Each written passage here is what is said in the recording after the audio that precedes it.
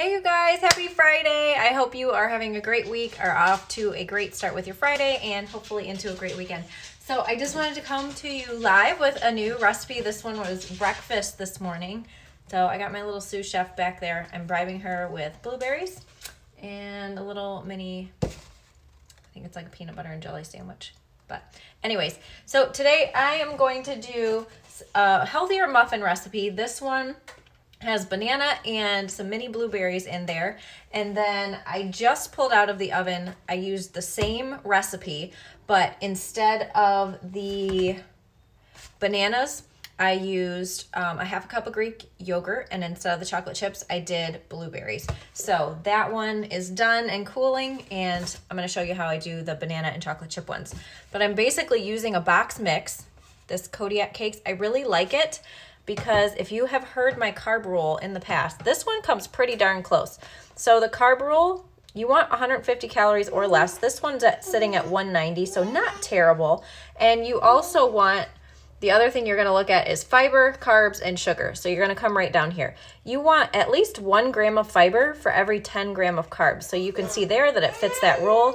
The other thing you wanna see is you want your fiber to be the grams a little more than your sugar. So we're good there as well. Now, I will tell you with this recipe, we are adding some brown sugar, so that will change, but your your base is pretty good here. So even if you do these, we do these waffles a lot, that's a pretty good carb. So if you're looking for the morning.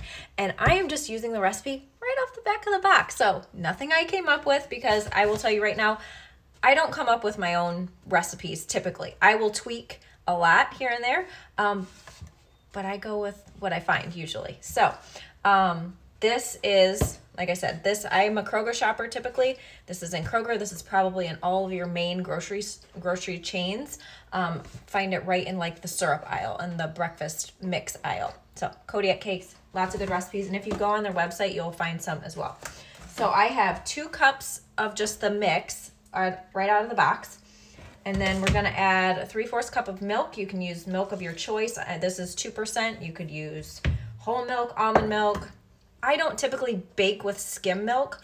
Um, I, I used to drink skim milk. I don't anymore. I drink almond milk now. But for baking, the the more fat, um, it seems the taste is better. So just my personal opinion.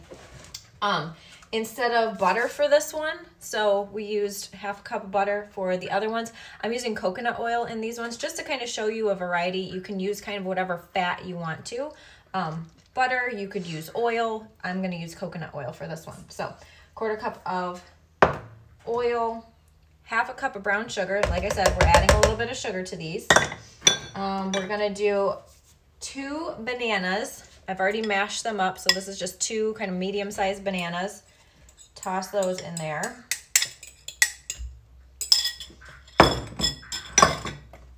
One egg.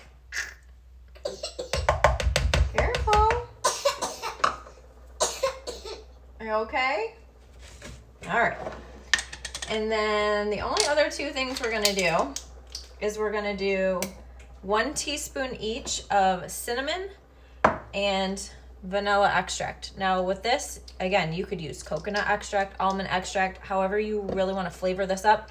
Vanilla is just, if you are a baker or have baked in the past, you know that vanilla is kind of the, the usual. Um, but you can switch that up. There's a lot of cool different um, extracts that you can find now. Not always in the grocery store chains. If if you're looking for something in particular, even the almond extract, I sometimes have trouble finding in the chains, in the grocery chains. So I'll get it on Amazon.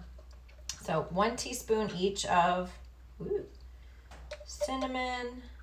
It looks like I need more cinnamon. And then one teaspoon ooh, of vanilla extract.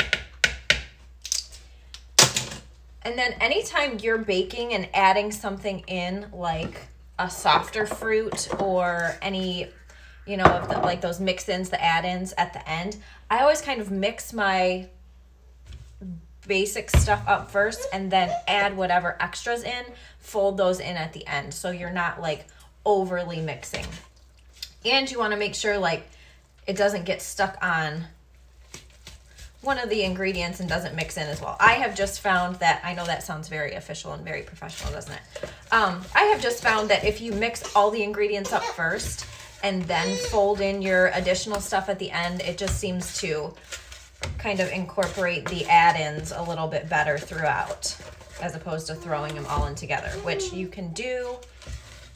And I'm sure there's probably a professional baker reason behind that, but what I have found is, especially if you're using something softer like blueberries or something like that, you don't want to like mash macerate those all up when you're trying to mix everything else together. So that's why you fold those in at the end. And there are going to be some lumps in this from the bananas. That's okay. And I will warn you, um, this looks like your pretty typical like bread batter. But the last ones that I did with the blueberries and the Greek yogurt, the batter was a little bit thicker. It was a thicker consistency. So just FYI, if that's the one you choose to do. Okay, so we've got our batter mixed up. I'm gonna toss our chocolate chips in. Half a cup of those, and I'm using just mini chocolate chips. Um, and that's just, I love banana and chocolate. And, you know, honestly, if I had them, I would throw in some peanut butter chocolate chips because that would be really good too. We actually, there's a, a little market. It's called Planktown. I don't know if any of you have ever been there, um, but they have a lot of like kind of cool baking stuff. And um, I got a bunch of the mini peanut butter chocolate chips one time and those were really good. I would use those in here. I would use them in my little mini protein bites. Those are really good. So what I'm going to do with this now, life hack tip, these silicone baking cups, lifesaver. It makes it so much easier. Um, and per usual in our house, one is missing. So I've sprayed the crap out of this one with just a, a cooking oil. Um, 350 degree oven for 16 to 18 minutes or until the top is kind of crispy brown and yummy. So I'm just gonna fill these, pop those up. Here is what